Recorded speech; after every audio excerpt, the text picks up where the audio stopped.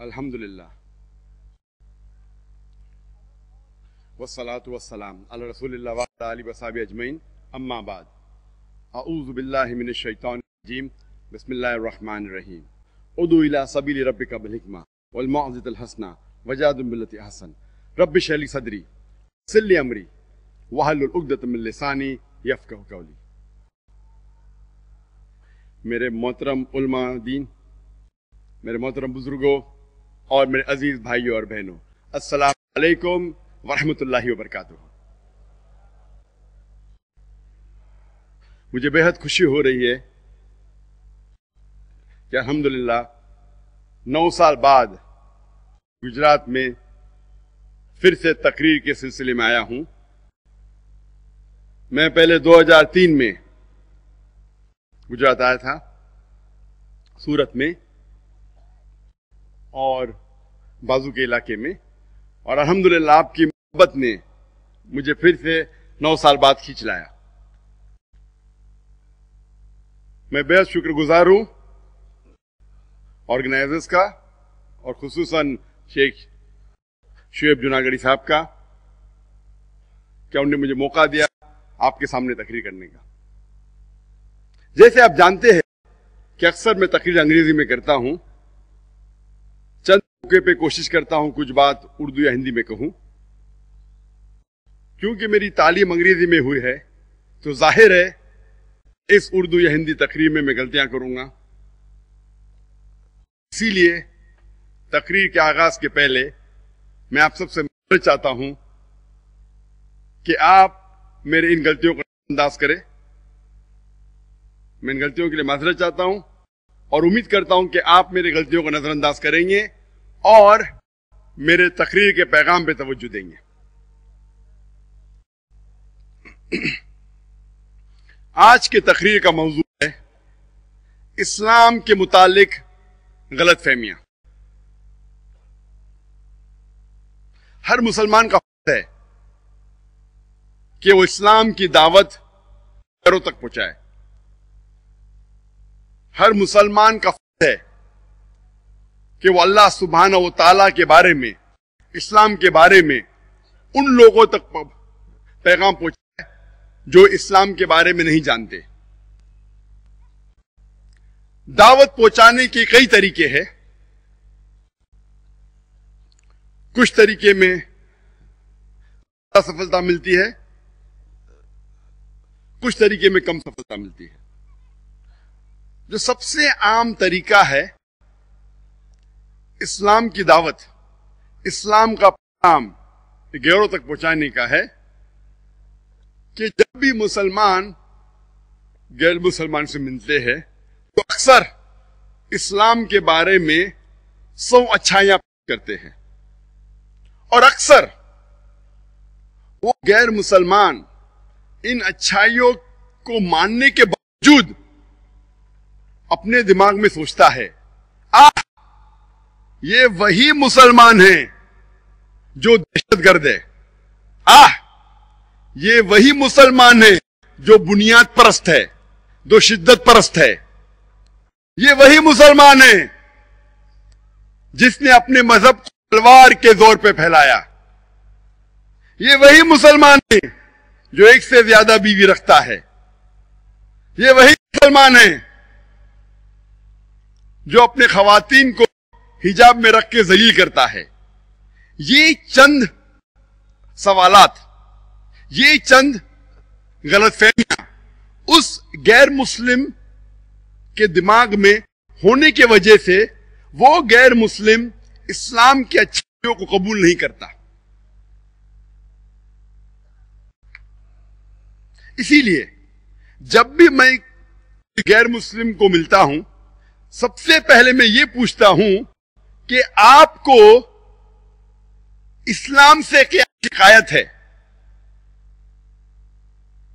आपको इस्लाम के बारे में क्या सही नहीं लगता? भले आपका इल्म सही या गलत है, जो भी इल्म आपके पास है इस्लाम के बारे में, मैं उनसे पहला सवाल पूछता हूँ कि आपको इस्लाम के बारे में क्या गलत लगता है?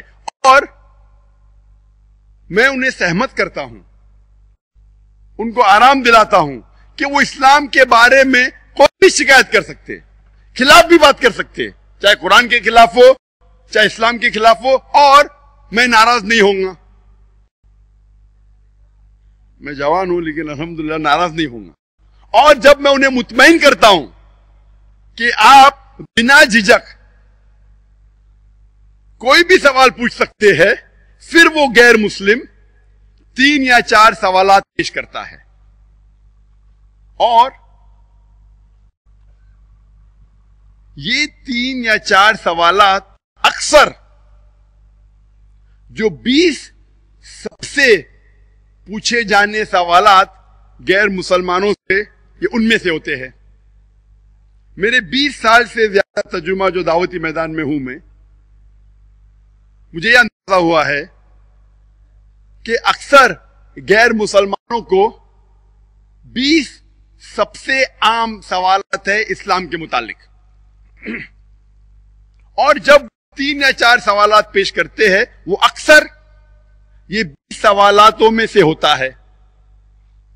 अगर हर मुसलमान ये बीस सवालों तो ये बीस सवालों का जवाब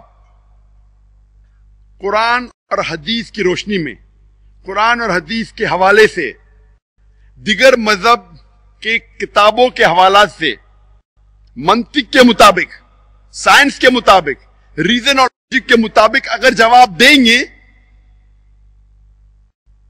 भले वो गैर मुसलमान इस्लाम कबूल ना करे, लेकिन कम से कम उस गैर मुसलमान के दिल में जो इस्लाम के खिलाफ नफरत है, वो कम से कम मिट जाएँगी। हर मुसलमान का फ़र्ज़ है वो इस्लाम का पैगाम गैर मुसलमानों तक पहुँचाए। और ये बीस सवालात गैर मुसलमानों के जहन में कैसे पैदा होते हैं? जिस तरीके से मीडिया इस्लाम को पेश करता है, उस तरीके से ये सवालात उसके जहन में पैदा होते हैं। आज international newspaper, international magazine international radio broadcast station international television satellite channels internet ये सारी मीडिया इस्लाम के खिलाफ गलतफहमियाँ फैला रही है। इस्लाम के बारे में गलत इंफॉर्मेशन दे रही है। They are doing virulent propaganda इस्लाम के खिलाफ प्रोपगंडा कर रही है। जिस तरीके से ये मीडिया इस्लाम के खिलाफ गलत फहमियाँ फैला रही है, उस तरीके से ये बीस सवालात गैर मुसलमानों के जहन में पैदा होते हैं। बीस साल पहले ये बीस सवालात कुछ और थे। बीस साल बाद हो सकता है क्या ये बीस सवालात बदल जाएँगे? लेकिन सारी दुनिया में ये आम सवालात वही है। अल्लाह के फजल से। अल्लाह के करम से अल्हम्दुलिल्लाह। मैं दुनिया के दिगर ममालिक में तकरीर किया हूँ। USA, Canada, UK, Singapore, Malaysia, Saudi Arabia, Kuwait, UAE. सारे मुल्कों में ये बीस सवाल वही है। हो सकता है कि माहौल की वजह से एक सवालात और एडिशनल और बढ़ जाए। मिसाल के तौर पे मगरबी मुलाके मगरबी मुल्कों में एक सवाल और आता है कि इस्लाम सूद के खिलाफ क्यों है? लेकिन वो बाकी बीस सवालात वही है।